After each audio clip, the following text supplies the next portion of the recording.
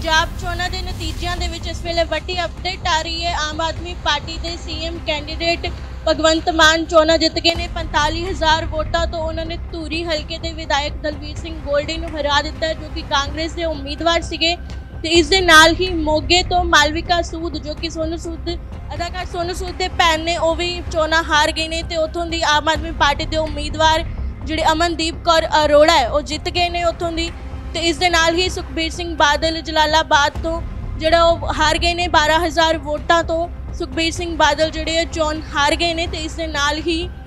ਜਿਹੜਾ ਤੇ ਇਸ ਦੇ ਨਾਲ ਹੀ ਸੁਲਤਾਨਪੁਰ ਲੋਧੀ ਤੋਂ ਨਵਤੇਜ ਚੀਮਾ ਜੋ ਕਿ ਵਿਧਾਇਕ ਨੇ,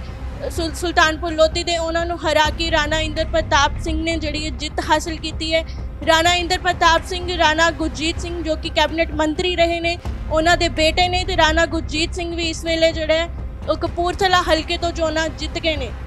ਅਤੇ ਤੁਸੀਂ ਦੇਖ ਰਹੇ ਹੋ ਕਿ ਇਸ ਸਮੇਂ ਜਿਹੜੇ ਵੱਡੇ ਵੱਡੇ ਦਿੱਗਜ ਨੇਤਾ ਨੇ ਜਿਹੜੇ, ਉਹ ਇਸ ਵੇਲੇ ਚੋਰਾਂ